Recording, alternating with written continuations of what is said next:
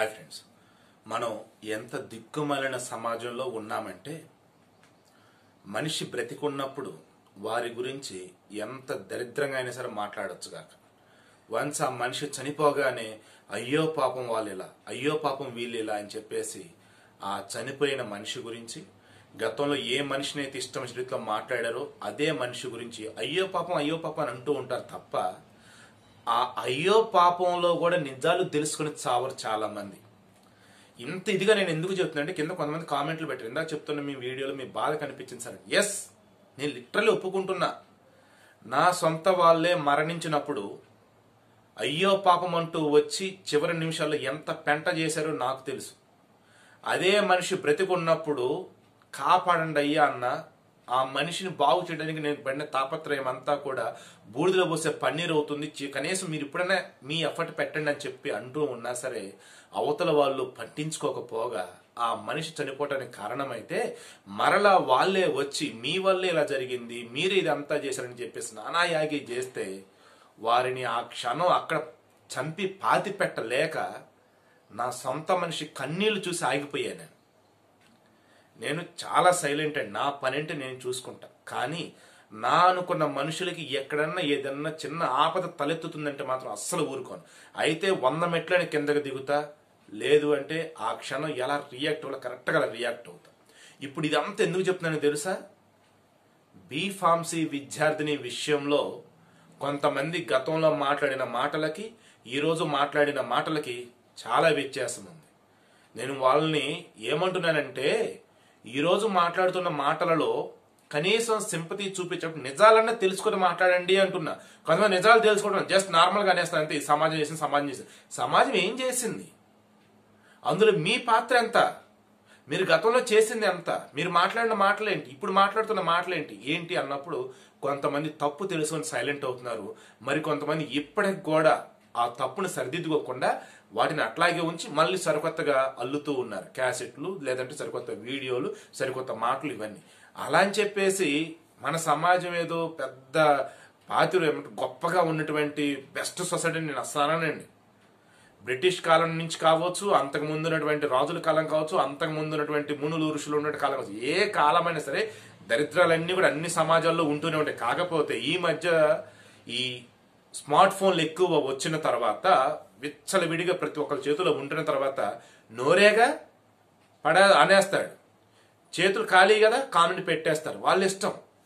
అప్పటికే అంటాను ఏదైనా ఒక విషయం గురించి మనకు తెలిసింది మాట్లాడేటప్పుడు మాట్లాడదాం కానీ వలగరగా మాట్లాడవద్దు. అది నిజమో అబద్ధమో తెలిసేంత వరకు అన్నా సరే ఉన్న విషయం మాత్రం మాట్లాడదాం తప్ప అవతల వల్ల అత్యంత దారుణంగా కించపరచలా వద్దని నేను అంటాను కానీ అది కొంతమంది వినగలుగుతున్నారు మరి కొంతమంది ఆ మాకు మామూలేలే మమ్మల్ని ఎవడు పట్టించుకోండి మేము ఎవరికి తెలియదు అన్న వీళ్ళు ఇష్టమతిలో అంటూ ఉన్నారు. సరే ఇలా చెప్పుకుంటూ ఉంటే ఈ రోజు అంతా కూడా దీని గురించి మాట్లాడుకున్న చాలా ఉన్నాయి. ఇప్పుడు మనం మాట్లాడుకున్న బీ ఫార్మసీ విద్యార్థిని గురించి. పాపం ఆ అమ్మాయి వాళ్ళ కుటుంబ సభ్యులతో మాట్లాడుతున్న మాటలు ఇవన్నీ గమనిస్తూ ఉంటాయండి అండి నిజంగా నాకు కాసేపు కన్నీళ్ళు రాలేదు కానీ కంట్లో నీటి చెమ్మచలు ఆగిపోయాను ఎందుకో తెలుసా? ఆ పిల్ల పాపం లిటరల్లీ సైకలాజికల్గా చాలా డిప్రెషన్లో ఉందండి. ఆమె లిటరల్లీ అసలు ఏం చేసిందంటే ఆమెకు తెలియకుండా చేస్తుందండి. నేను ఆ అమ్మాయికి సంబంధించిన కింద కొంతమంది చాలా దారుణంగా కామెంట్ పెడుతున్నప్పుడు నేను అన్నాను. ఆమెకు శిక్ష పడదంటే పడుతుందండి. మరి ఇంకా హాస్పిటల్ ఎందుకు ఉంది అంటే కొంచెం సైకలజీ డిప్రెషన్ ఏదో ఉందండి అని కూడా నేను అంటే కింద కొంతమంది పెట్టారు. అఫ్ కోర్స్ అది వాళ్ళ పర్సెప్షన్ తప్ప కొంతమంది సైకలజీ డిప్రెషన్ అదే మొత్తం నాటకం అండి అన్నారు. ఓకే రైట్ అక్కడ వరకు ఓకే బట్ ఆ తర్వాత కొంతమంది చాలా నెగిటివ్గా చాలా వలగరగా మాట్లాడారండి. నాకు చాలా బాధేసి అవి నా కామెంట్ కూడా నేను తీసేస్తూ వచ్చా. నాకు చాలా ఇంపార్టెంట్ వర్క్స్ ఉన్నా సరే అదే ఒక ఆడపిల్ల విషయం కింద కామెంట్లు అలా పెడితే అలా పెడుతున్నారు జాగ్రత్తగా చూడాలని చెప్పేసి నాకు టైం దొరికిన ప్రతిసారి ఆ కామెంట్ డిలీట్ చేసుకుంటానే వచ్చా. ఇంకెక్కడన్నా ఒక కామెంట్ అది మిస్ అయిందో నాకు తెలియదు. సొసైటీకి అవేర్నెస్ క్రియేట్ చేసే విధంగా కింద కామెంట్లు పెట్టిన వాళ్ళు ఉన్నారు. అమ్మాయి చేతులారు చేసినట్టు తప్పు అలా చేయకూడదు తప్పు కదా? ఆమె నాటకం ఆడుతూ ఉంది. ఇంతవరకు ఓకే. అటువంటి కామెంట్ నేను ఉంచా. కామెంట్ మీరు చూసుకోవచ్చు. నేనేమంటున్నాను ఆమె చివరి క్షణాల్లో కుటుంబంతో మాట్లాడి రెండు మూడు ఛానల్స్లో వస్తే నేను అబ్జర్వ్ చేశానండి. చాలా బాధేసింది. నేను ఎలా వెళ్తున్నట్టు నాకు తెలియటం లేదు వెనక వద్దని ట్రై చేస్తున్న సరే ముందుకే వెళ్తున్నా. అంటే ఒక రకమైన సైకలాజికల్ ప్రాబ్లంలో ఆమె కొట్టుమిట్టాడుతూ ఉంది. మనం చిన్నప్పుడు వింటూ ఉన్నాం. చిన్నప్పుడు కాదులేండి ఈ మధ్య కాలంలో కూడా. ఈవెన్ నేను కూడా ఒకళ్ళిద్దరు ఒకటి రెండు సందర్భాలు అనే ఉంటా.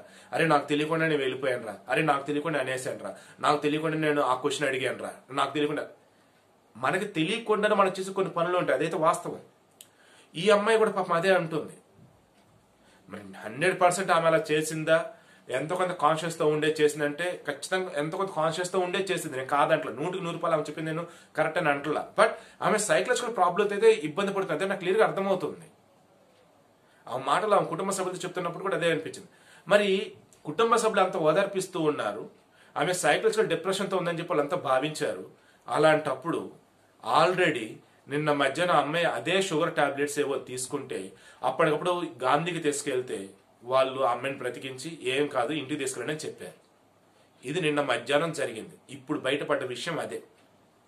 ఓ రకంగా నాకు చాలా బాధేసింది కూడా ఇక్కడే. కుటుంబ సభ్యులు ఏ కొంచెం జాగ్రత్తగా ఉన్న అమ్మాయి బతికేదే అనిపించింది నాకు. నిన్న మధ్యాహ్నం ఆ రకంగా తీసుకున్న అమ్మాయి మరలా ఆ రకంగా ఎందుకు చేయదండి? నైట్ రేపు ఎప్పటికప్పుడు ఎందుకు చేయదు? అప్పుడు ఇమీడియట్గా వాళ్ళు ఏం చేయాలి? పోలీస్కి ఇన్ఫర్మేషన్ ఇచ్చి ఆ అమ్మాయికి హాస్పిటల్లో పెట్టి సైకలాజికల్ వేలో లేదంటే సైకాట్రిక్ వేలో ట్రీట్మెంట్ అందించాలి కదా. ఎంత పెద్ద ఇష్యూ అయింది అమ్మాయి వల్ల? మరి అమ్మాయిని కాపాడుకోవాల్సిన బాధ్యత ఎవరి మీద ఉంది? పోలీసుల మీద లేదా? ఆమె బ్రతుకుంటేనే కదా ఏ నిజాలని కరెక్ట్గా సమాజానికి తెలుస్తాయి. వాళ్ళ కుటుంబ సభ్యులతో మాట్లాడుతున్నప్పుడు ఆమె ఏమంటుంది? నేను చెప్పాల్సింది కూడా చెప్పలేకపోయాను ఎందుకంటే పోలీసులు నన్ను అట్లా అడుగుతున్నారు క్వశ్చన్లు ఐదు అంటుంది. ఆమెనే కాదండి. మన సమాజంలో మీరు ఎవరైనా సరే గమనించండి. ఇక్కడ మళ్ళీ పోలీసులు తప్పుపడుతున్నా వాళ్ళు క్వశ్చనింగ్ అలా ఉంటుంది ఒక్కోసారి.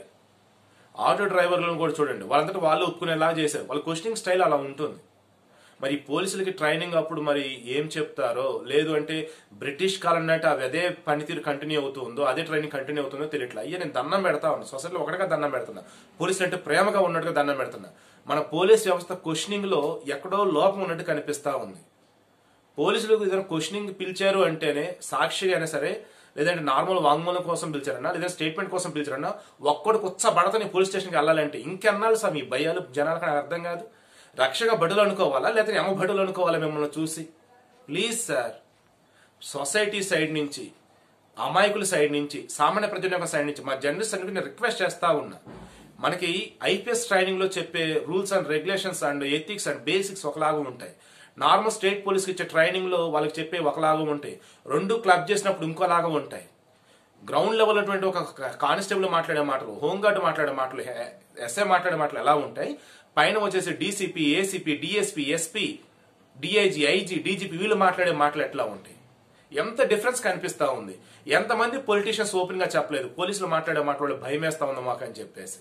సో నేను రిక్వెస్ట్ చేస్తా ఉన్నా. ఇక మీదటన్నా సరే మీ వే ఆఫ్ క్వశ్చనింగ్లో కొంచెం మానవత్వం చూపించండి. మీ వే ఆఫ్ క్వశ్చనింగ్లో కొంచెం ఎదుటి వాడికి స్కోప్ ఇవ్వండి. కనీసం వాడు నిజాలు చెప్పేదానికన్నా ఒక టైం ఇవ్వండి. మీ వే ఆఫ్ క్వశ్చనింగ్లో భయం అన్నది తగ్గించి బాధ్యత అనేది మాకు గుర్తు చేయండి. అండ్ మీరు కూడా ఆ బాధ్యతను గుర్తు తెలుసుకొని ప్రవర్తించండి. కమింగ్ టు ఈ అమ్మాయి. నేను మధ్యాహ్నం పాపం ఆమె రకం తీసుకున్న తర్వాత వాళ్ళకి ఇంట్లో తెలిసింది ఇమీడియట్గా హాస్పిటల్కి హాస్పిటల్ గాంధీకే తీసుకెళ్ళారంట గాంధీ హాస్పిటల్కి వాళ్ళు అక్కడ కక్కిచ్చారా? మరి ఎలా ట్రీట్మెంట్ చేశారో ఏం చెక్ చేశారో తెలియదు మొత్తానికి నార్మల్ అయిన అమ్మ జాగ్రత్తగా ఉంది. ఏం కాదు ఇంటికి తీసుకెళ్ళండి అని చెప్పారంట. అలా ఇంటికి తీసుకెళ్ళండి అని చెప్పినప్పుడు నిన్న సాయంత్రం ఖచ్చితంగా మరలా వాళ్ళు ఈమెకి సంబంధించేసి ఎలా ఉండాలి ఏంటి జాగ్రత్తలు చెప్పుంటారా? పోనీ ఆ టైంలో వాళ్ళన్న ఫోర్స్లకు ఇన్ఫర్మేషన్ ఇచ్చి ఆమెను కనీసం అప్పుడే సరే కస్టడీలోకి తీసుకొని జాగ్రత్త చేస్తే సరిపోయేదా? సూసైడ్ అటెంప్ట్ అన్న ఆత్మహత్య అటెంప్ట్ అన్నప్పుడు ఆటోమేటిక్ అది కూడా నేరం కిందకే వస్తుంది. కనీసం మరి కొద్దిసేపు అన్న వాళ్ళు కంట్రోల్ ఉంచుకోవాల్సింది రెండు మూడు రోజులు? అది వాళ్ళు చేయాలి. అలా వాళ్ళు చేసేసరి ఈ అమ్మాయి బతికుండేది. లేదు ఇంత సైకలాజీ డిప్రెషన్ ఉండి ఇంకా సమాజంలో ఉండకూడదని చెప్పి ఆమె డెసిషన్ తీసుకుని ఈ రకం చేస్తూ ఉంది అనుకున్నప్పుడు ఇమీడియట్గా మానసిక వైద్యాలకు పంపించేసి ఆమె ట్రీట్మెంట్ అందించాల్సిన బాధ్యత డాక్టర్లు కాదా. కుటుంబ సభ్యులు కదా వాళ్ళు ఆ రకం చేసిన పాపం అమ్మాయి బతికేదా? పోనీ నిన్న సాయంత్రం వాళ్ళు ఇంటికి వచ్చారు నిన్న మధ్యాహ్నం ఆల్రెడీ అటెంప్ట్ చేసింది. నిన్న నైట్ అంతా ఆమె పక్కనే ఉంటూ ఆమె ఏం చేస్తుంది ఏంటి అని కన్నారపకుండా ఆమెను గమనిస్తూ ఉన్నా లేదు ఏ మాత్రలు అయితే మింగిందో ఏ టాబ్లెట్స్ అయితే తీసుకుందో అవి అసలు దరిదాపులు లేకుండా చేసినా ఆమె ఉండేదా?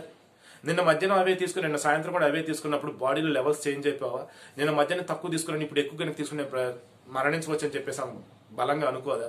పాప మా పిచ్చి పిల్ల అలానే కదా చేసింది. నాకు చెప్తూ నిజంగా బాధేస్తుందండి. ఎందుకంటే నాకు తెలుసండి ఒక మనిషి ఎన్నవాళ్ళు మానసికంగా డిప్రెషన్ ఉన్నప్పుడు ఎటువంటి బాధలు పడతారో నాకు తెలుసు.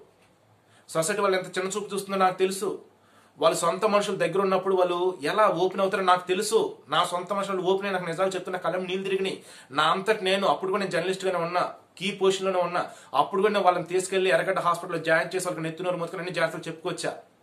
వాళ్ళు రికవర్ అంటే రికవర్ అయ్యి మళ్ళీ బయటకు వచ్చాక సేమ్ అదే రకమైనటువంటి మానసిక రోగం ఐ మీన్ అదే మానసికమైన ప్రాబ్లంలో పడిపోయి వాళ్ళు కొట్టుమిట్టాడుతూ ఉంటే ఏం చేయలేని పరిస్థితి. చివరికి స్క్రిజోఫినో సైకలాజికల్ డిజార్డర్తో వాళ్ళు ఆత్మహత్య చేసుకునే దాకా వెళ్ళారు. అప్పుడు కూడా ఇదే గాంధీ హాస్పిటల్ అండి. చివరికి వెంటిలేటర్ మీద మూడు నాలుగు రోజులు కొట్టుమిట్టాడు. చివరికి ప్రాణాలు వదిలాడు. నా సొంత మనిషి. చెప్తుంటే చాలా బాధేస్తుంది. కన్నీళ్ళు వస్తే బాధగా ఉంది. బట్ ఈ అమ్మాయి మరణించిన కారణం మాత్రం పోలీసులు సమాజం చివరి క్షణంలో కూడా అవకాశం ఉన్నా సరే కూసింత అలసత్వం ప్రదర్శించిన కుటుంబ సభ్యులది. బట్ కన్క్లూజన్ ఇస్తూ ఉన్నా ఆ అమ్మాయి నిజంగానే మానసికంగా ఎంతో వేదన భరించింది. గతంలో ఉంది ఇప్పుడు ఉంది. మరణించే ముందు కూడా మానసికంగా కుంగుబాటులోనే ఆత్మహత్య చేసుకుంది.